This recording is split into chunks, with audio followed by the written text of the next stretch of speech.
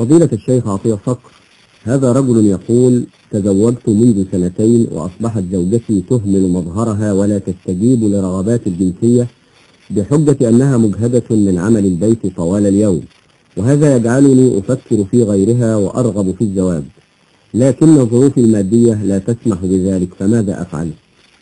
معلوم أن طاعة الزوجة لزوجها لها أثرها الكبير في انتظام سير الحياة الزوجية وتكون بها الزوجة سكنا ورحمة. كما قالت العربية لبنتها كوني له أمة يكن لك عبدا. إن كل الأديان تحذر الزوجة من عصيان زوجها. وهذا بعض ما جاء في الإسلام عن ذلك. أيما امرأة ماتت وزوجها راض عنها دخلت الجنة. حديث رواه ابن ماجه والترمذي وحسنه.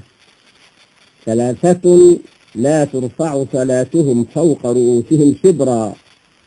رجل أم قوما وهم له كارهون وامرأة باتت وزوجها عليها ساخط وأخوان متصارمان. هذا حديث رواه ابن ماجه وابن حبان وروى الترمذي نحوه. إذا دعا الرجل امرأته إلى فراشه فلم تأته فبات غضبان عليها لعنتها الملائكة حتى تصبح. هذا حديث رواه البخاري ومسلم. إن تقصير الزوجة في هذا الحق يجعل زوجها بين أمرين.